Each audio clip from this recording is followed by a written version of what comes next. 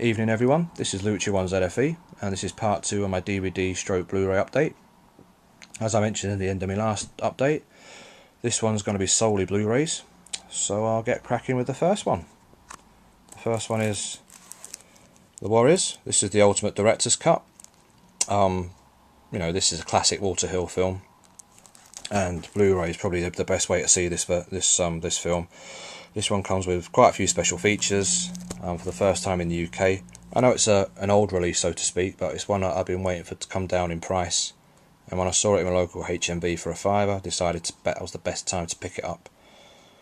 So that's the Warriors. The next one is similar to Father's Day in a way, and it's a low budget film called Dear God No.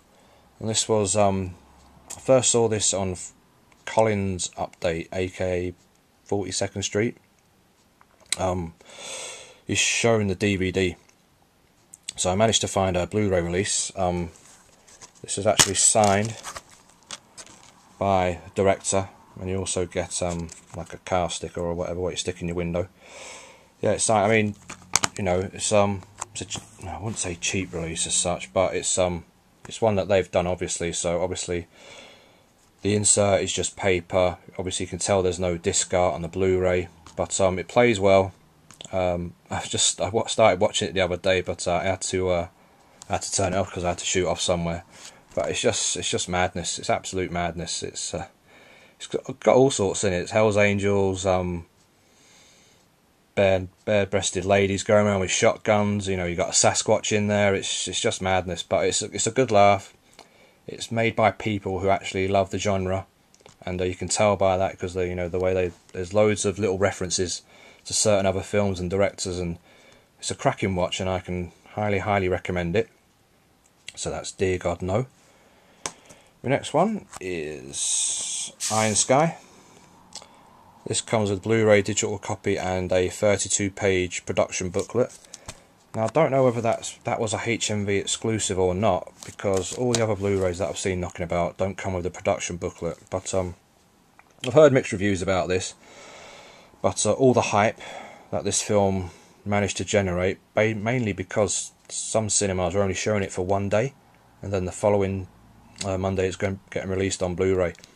But I believe there was a petition by certain cinema goers, and I think there was one or maybe two cinemas in London showing it for the whole week. But yeah, it's. I mean, I don't need to talk much about this one. It's had loads of loads of hype, but um, it's one that I've not watched yet. But I am looking forward to watching it. So that's Iron Sky. The next one is I don't know if I've shown this in a previous update or not, but it's the Arrow release of Demons Two.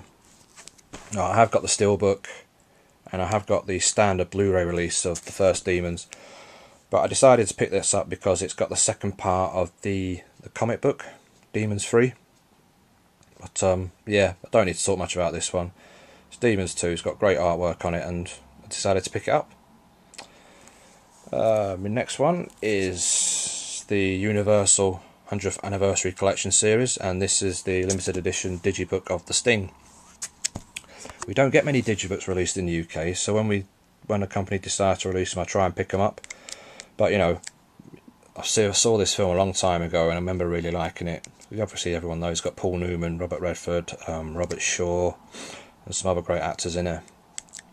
Um, but yeah, you know, it's a digibook, and um, I'm really looking forward to catching up with this one again. So that's the Sting.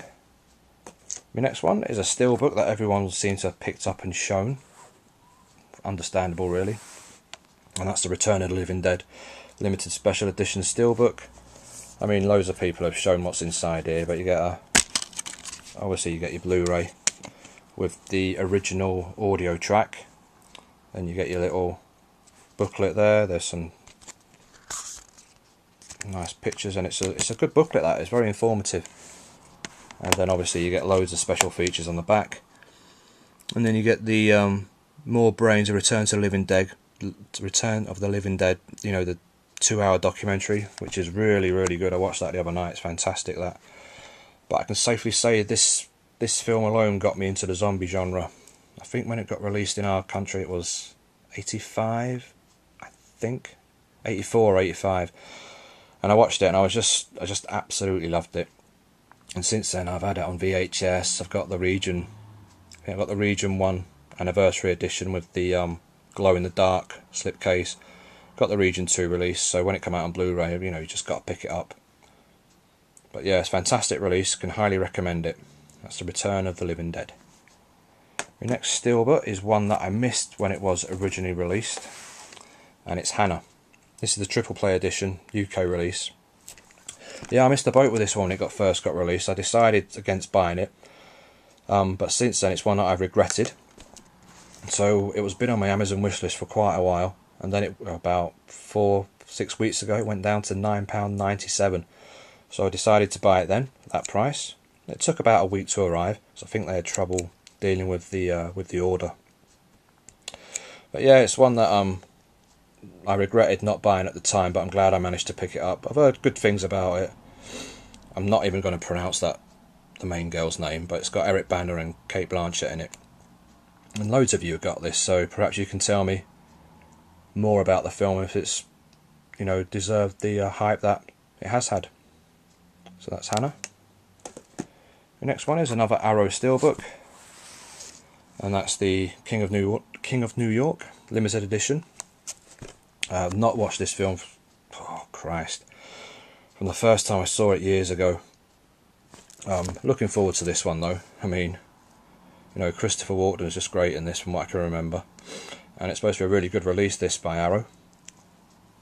Like I say, loads of people have shown this previously, so I'm a bit um, bit late showing mine, but that's King of New York.